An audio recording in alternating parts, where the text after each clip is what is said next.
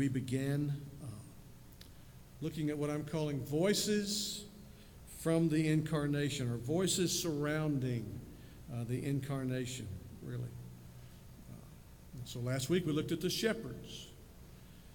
And if you're, if you're familiar with uh, biblical history, we talked about this on Sunday evenings when the, when the intertestamental period set in at the end of the time of the prophets, the end of the Old Testament, that there was 400 years Uh, during which time there was not a word from God, not a prophet sent, not an angelic voice. And then as time approached for the coming of Messiah, born in Bethlehem, the angelic activity heightened considerably. We looked at that last week. By the way, when Jesus returns, one of the indications will be the heightening of angelic activity. It seems to be in God's plan that when His Son is on the move, the angels become increasingly active. And so today we're going to take another look, another set of voices of the women who surrounded that time. One uh, is uh, Elizabeth the mother of John the Baptist. One, of course, as you would expect, is Mary, the mother of Jesus. And then another who's not as well known. Uh, in fact, you'll see when we get there that we don't even have a quote from her, but we have the essence of what she was saying is Anna, who was a prophetess who waited for the coming of Messiah, longed for that. So I'm going to ask you, if you would, to turn in your Bibles to Luke uh, chapter 1, verses 39 to 45. Luke chapter 1, verses 39 to 45. And stand with me if you would. You follow along as I read uh, this wonderful section. Beginning in verse 39. In those days, Mary arose and went with haste into the hill country to a town in Judah, and she entered the house of Zechariah and greeted Elizabeth. We're told in previous verses that the connection here, the familial connection, is their cousins in some way. And when Elizabeth heard the greeting of Mary, the baby leaped in her womb, and Elizabeth was filled with the Holy Spirit. And she exclaimed with a loud cry, Blessed are you among women, and blessed is the fruit of your womb. And why is this granted to me, that the mother of my Lord should come to me? For behold, when the sound of your greeting came to my ears, the baby in my womb leaped for joy. And blessed is she who believed that there would be a fulfillment of what was spoken to her from the Lord. What have we just read together? the inerrant, infallible, all sufficient Word of God. May we be taught today by the faithfulness of these precious women who, who manifested a trust in God and marveled at the great works and tidings of God. Thank you. Please be seated.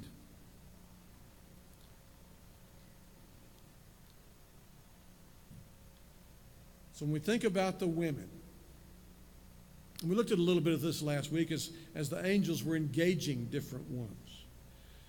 When we think about the response of the women, the remarks of the women, uh, you cannot help but be moved. We live in interesting times.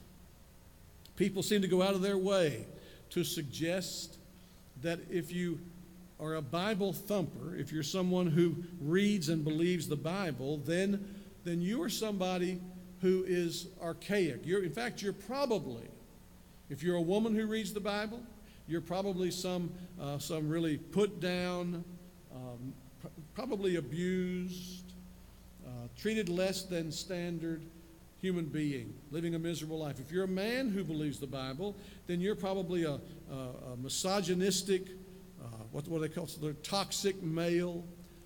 Folks, that can only be said by people who are ignorant of the Bible.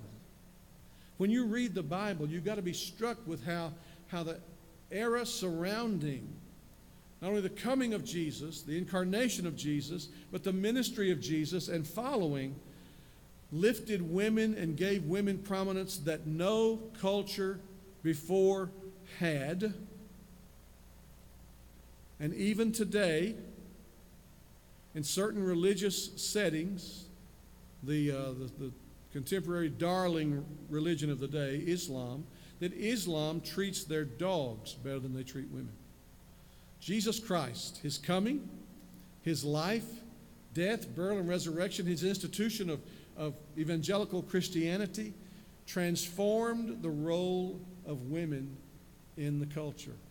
And you see a little taste of this today, how prominent a role the women play. When you, when you go to the end of his life and read the, the time surrounding his death, burial, resurrection, again, women play a prominent role in that.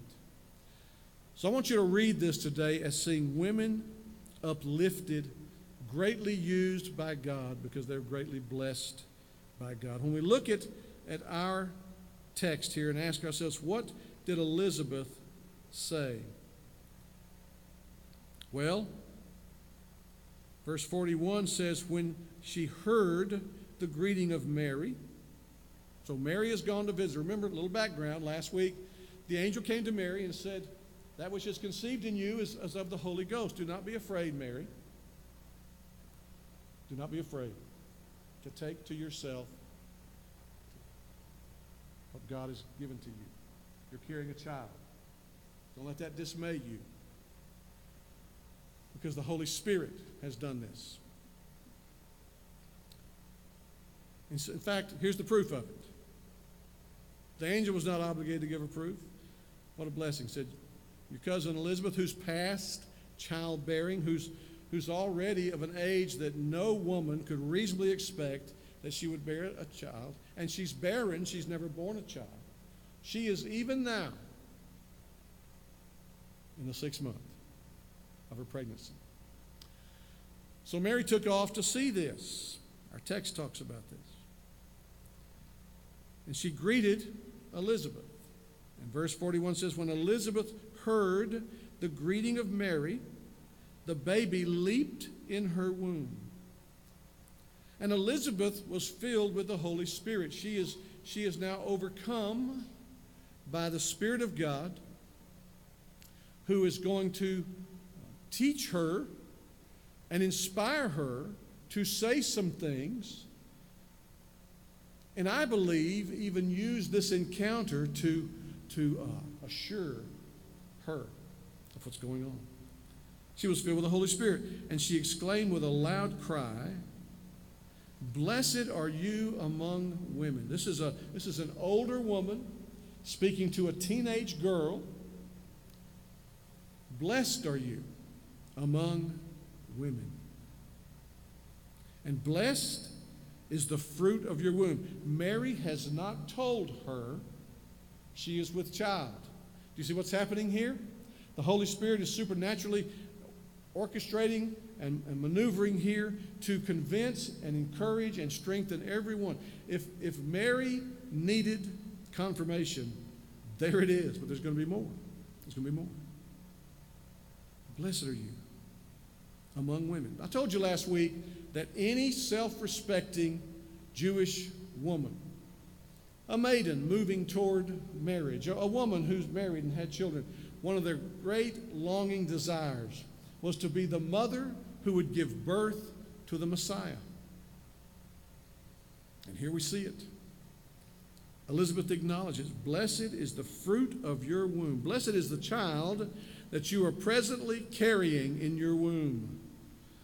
And then why is this granted to me that the mother of my Lord, not my cousin Mary, not my younger teenage cousin, the mother of my Lord should come to me?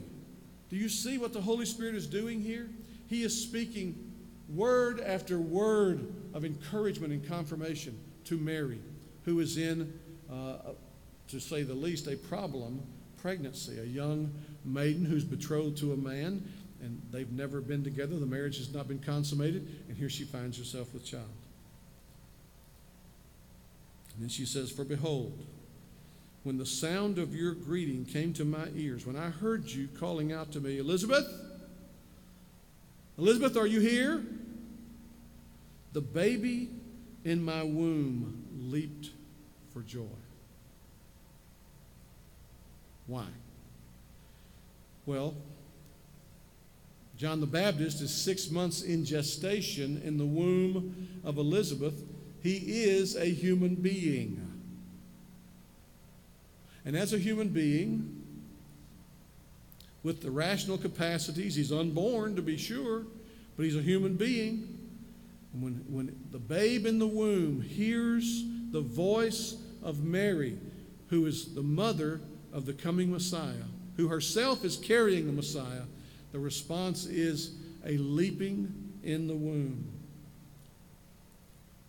for joy. I told you last week that I was reading somewhere that, that the first human being to respond to the presence of Jesus was John the Baptist in utero. And then Elizabeth goes on. Not only am I blessed that the mother of my Lord would come to see me, not only am I blessed that the child I'm carrying has, has done a, a flip in the womb upon hearing the voice of Mary, but Mary, you're blessed. And blessed is she who believed. This is the mark.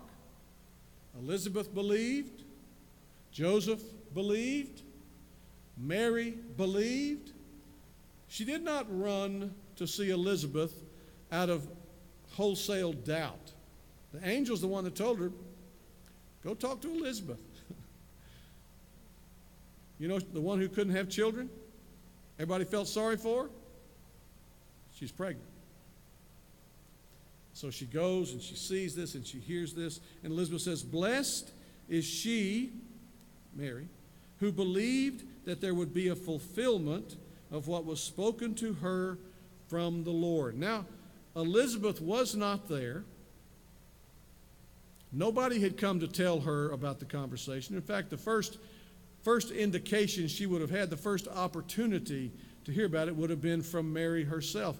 And, and Elizabeth says all of this before Mary can tell her anything. It's beautiful, it's precious. This, this response of Elizabeth, a woman full of faith. I love these things about Elizabeth.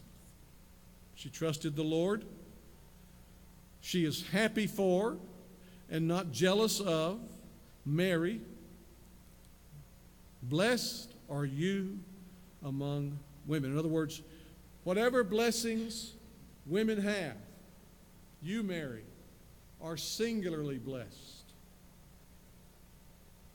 By God's kindness and mercy, you have become the vessel of God to bring Messiah, the Lord, to us.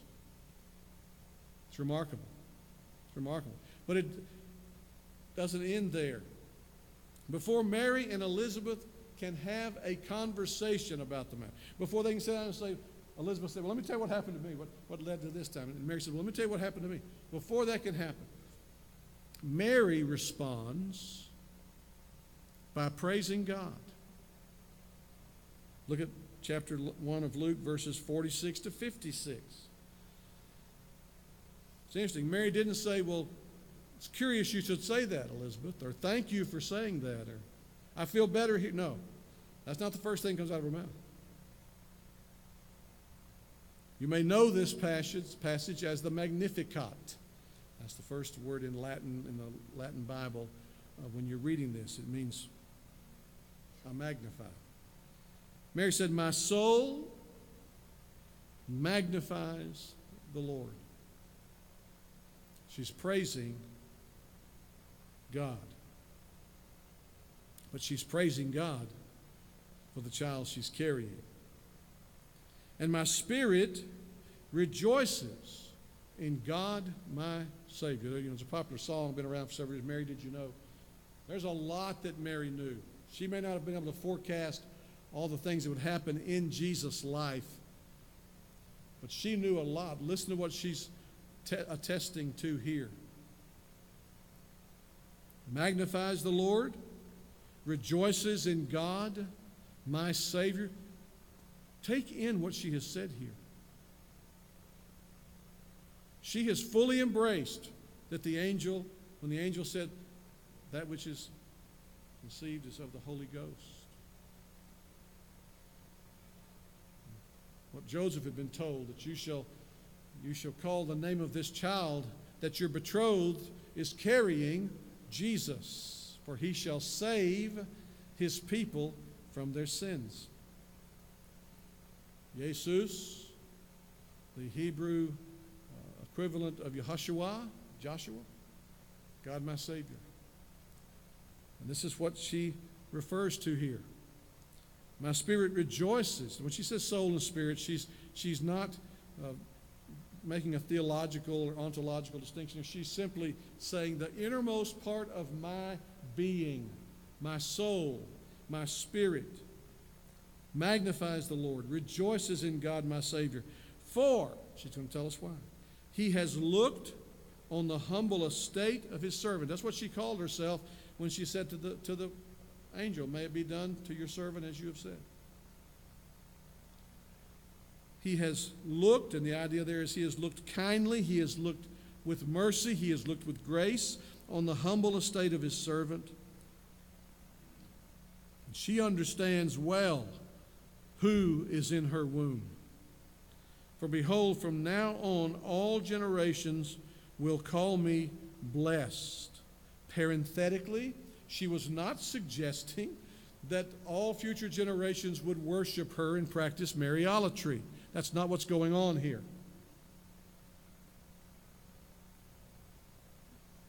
She had no intention that people would regard her as having celestial flesh and not being fully human.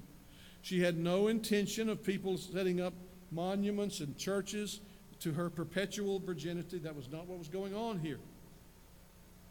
She is saying generations going forward, when they speak of Messiah and they speak of me, his mother, they will agree with Elizabeth what a blessing has come from God to let me be the vessel to bring the one who will save his people from their sins.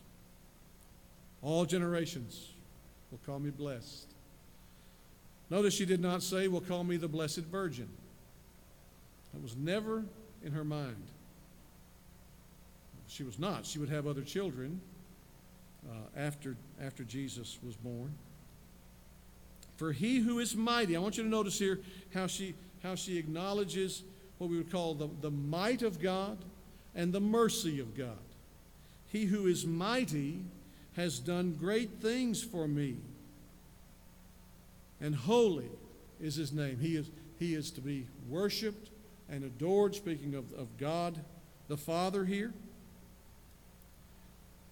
And his mercy, verse 50, is for those who fear him from generation to generation. She is acknowledging here that she was raised in a setting where she was taught by her parents, who were taught by their parents, to have this holy reverence and awe of God. I'm going to tell you something. That is disappearing from the church today. It's disappearing. People figure that God's just thrilled with any attention that you pay him. God doesn't get giddy about that.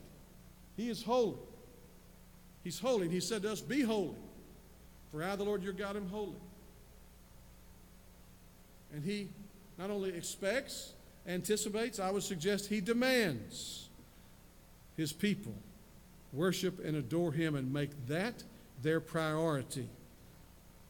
Everything else is a distant second. Why do you say that, Pastor? What do you think it's going to be like in heaven? Heaven is a place where angels continually cry out, Holy, holy, holy. I was witness to some, some Mormon missionaries years ago And we begin to talk about eternity to come. And I began to describe heaven as it's spelled out in the scriptures. And one of these 18 year old boys said to me, Well, that sounds boring to me. And I said, Well, I would suppose somebody who's been taught that you're going to be a God and populate your own planet would take that as being boring. But somebody who's been saved by the blood and righteousness of Jesus Christ, who anticipates being in his presence, completely delivered from sin in a glorified state, having the privilege to join the myriads of angels and the multitude, uh, the numberless multitude of those who've been saved throughout the ages, praising and adoring him, that fires me. That's what she's saying here. She's acknowledging the might and the mercy of God. Verse 51 He has shown strength with his arm. This is one of the things that Isaiah the prophet prayed Oh God, arise, bear the arm of your power and come down, that the people may rejoice in you. He has shown the strength of his arm. There's his might again. He has scattered the proud in the thoughts of their hearts. If you, you, you follow the narrative through in the Gospels, the religious leaders spent the entire time of Jesus' public ministry mad as hornets at him because he did not fit their narrative. The Roman generals, the Roman governors, the, the puppet, Jewish puppet kings, they all despised him. He has scattered the proud in the thoughts of their hearts. Verse 52 He's brought down the mighty from their thrones and exalted those of humble estate. What she's saying here is all things being equal, if you if you had interviewed the Sanhedrin prior to this, if you interviewed the political, uh, politically powerful prior to this, they would have thought, I'm sure several, you would have had no problem finding Pharisees who believed uh, that perhaps their daughter would be the one from whom Messiah would come. You'd have found the same thing among, among Jewish royalty. Surely, if God were going to come to deliver his people, he would come from a royal palace, he would come from the religious elite. And surely he did not. He came to one of humble estate, and she says he exalts those of humble estate. The coming of Jesus turned that culture upside down. Upside down. Go on now. He has filled the hungry with good things, and the rich he has sent away empty. Jesus would say later on in his ministry how difficult it is for the rich to enter the kingdom of heaven. Not because wealth is bad, but because in too many cases, not all cases, thank the Lord, too many cases, people who have wealth tend to worship that and not God. Jesus said you cannot serve two masters. You cannot serve God and mammon. so she's she is stating some some powerfully profound truths here. that would mark out the ministry of Jesus when he came to maturity. He has helped his servant Israel, verse 54, in remembrance of his mercy. You see this? She's moving back and forth. His might, his mercy, his might, his mercy. As he spoke to our fathers, to Abraham, and to his offspring forever. So now she has appealed not primarily to the might of God, in what he's doing, not even primarily to the mercy of God in what he's doing. Now she has appealed, appropriately so, to the faithfulness of God as the God who keeps his covenant. When she mentions uh, Abraham and his offspring forever, she is talking about God's covenant with Abraham. That he would bless Abraham's offspring and make them a blessing to the nations. So this is a, this is a powerful, a very profound uh, praise that she breaks into here. And it needs to be considered for its value, and we need to recognize what a treasure Mary is to the church of the Lord Jesus Christ. Not to be worshiped, but to be uh, followed in her example of emphasizing God's might and his mercy and his covenant faithfulness. And then we're told that Mary remained with her about three months and returned to her home. So, so she basically stayed with Elizabeth until the time for the birth of John the Baptist.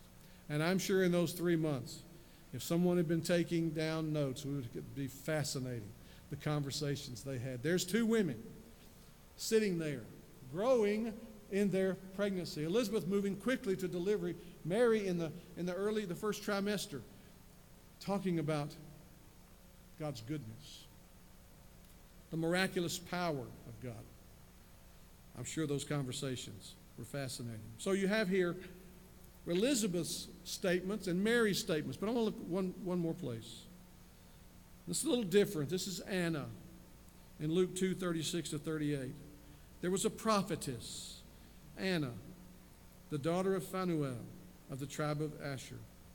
She was advanced in years, having lived with her husband seven years from when she was a virgin. So from the time they married, they were married seven years, and then he died, notice. And then as a widow until she was 84. If she was typically of the age, if she was in mid teens when she, when she married,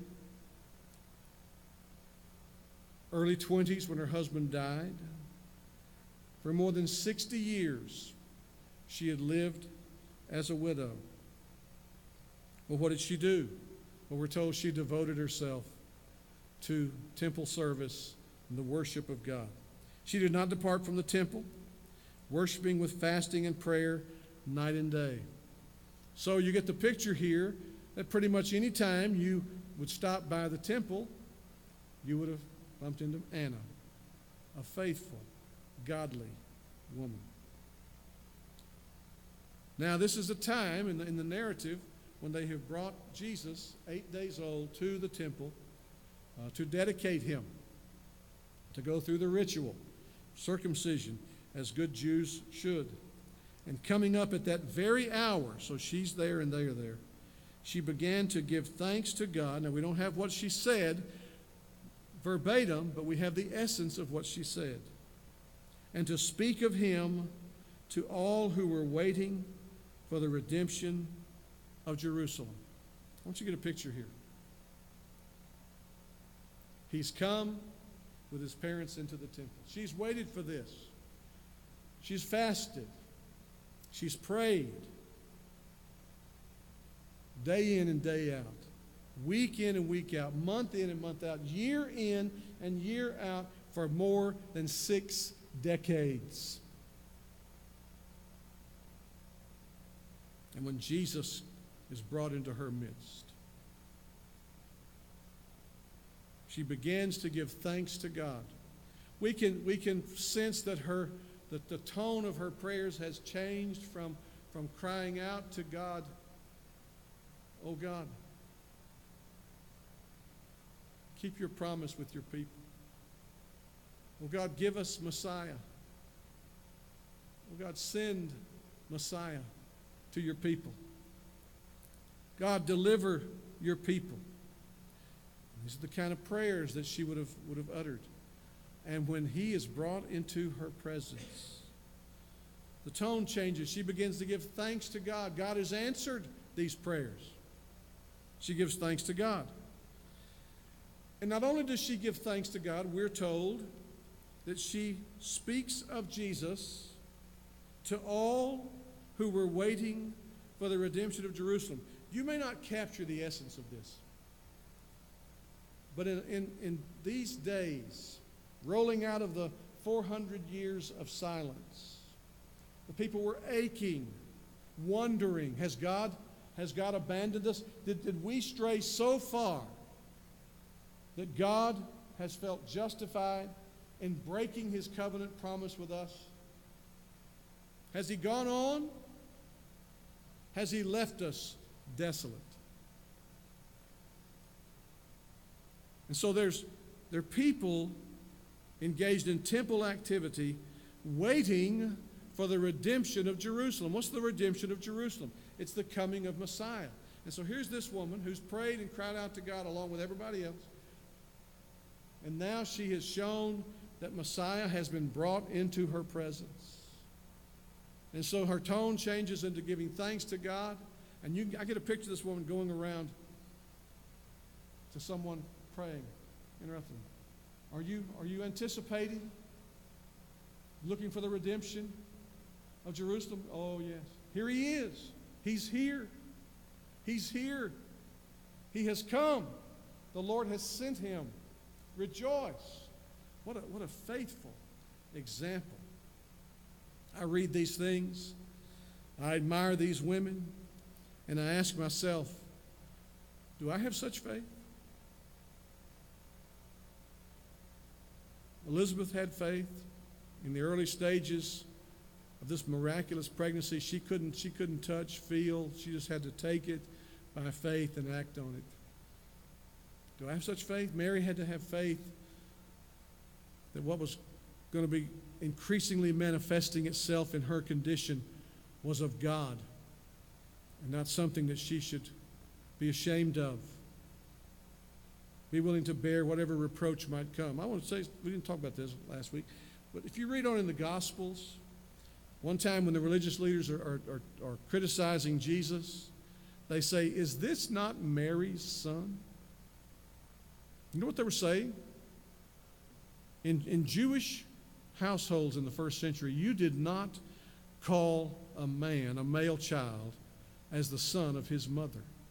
He was passing on the lineage of his father. For them to call Jesus Mary's son was to be saying, we're not really sure who his daddy was. There's some kind of something suspicious, some kind of controversy. We've heard some really strange stories about they were, they were laying an assault on the very character of Jesus and calling into question his mother when they would say, Is not this Mary's son? What faith she had. And then Anna. Do I persevere in prayer like that? Longing, aching, believing. Do I have the spiritual sensitivity of an Anna who, after all those times of crying out to God, recognized when God had answered? Do I have the evangelistic zeal of Anna? That when she recognized God had answered prayer, then she sets about helping others who've been crying out to God. Because He's here. He's here. You and I are going to encounter people in this season of the year who perhaps the rest of the year don't give one thought about a birth in Bethlehem, who wonder about God. Are we going to be the ones who tell them He's here? He came. We're celebrating all of this because 2,000 years ago, in an animal trough, in a stable, in a little town called Bethlehem, which, which meant house of bread. God sent his son, Jesus. And then finally, this was all happening in anticipation of the coming of Messiah. And I asked myself, am I living with such anticipation at the return of Messiah? No, we're not anticipating the incarnation. That's happened. The Word became flesh and dwelt among us, and we, we beheld His glory, and His glory was as one uniquely begotten by the Father, full of grace and truth. That's happened. He lived, He died, He rose, He ascended, and He is returning. And I wonder sometimes do I live as if I'm anticipating, highly anticipating, eagerly anticipating His return? Or do I live as if I would be just as content if it doesn't happen in my lifetime, or the lifetime of my children, or the lifetime of my grandchildren? In other words, do I live as if His return would be a great interrupter to my plans? We can learn so much from the women whose voices were mixed together in the incarnation of Jesus. And my prayer is that you and I will learn that. We will take action upon it. That we will be like faithful Elizabeth, faithful Mary, faithful Anna. But we're not finished. Next week, God willing, we're going to look at the men whose voices are also mixed at this marvelous time of the coming and birth of Jesus Christ. Let's pray together.